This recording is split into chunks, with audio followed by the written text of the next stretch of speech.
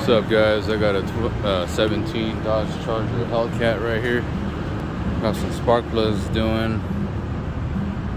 I already got the coils back in, new plugs in. Customers using the NGKs on this.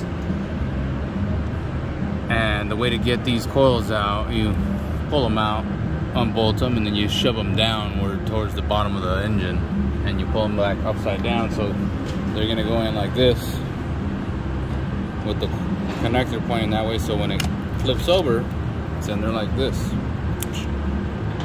On this side driver's side I don't know they both look equally hard but I haven't done that side yet. I'll post that up in a bit. And then these obviously you take the first one out then the second one then you got to all slide them out so you don't remove any of these lines right here for the AC I didn't unbolt anything only the coolant reservoir on this side to loosen it up and then you pull it back right here give yourself some room. All right guys i'll keep you posted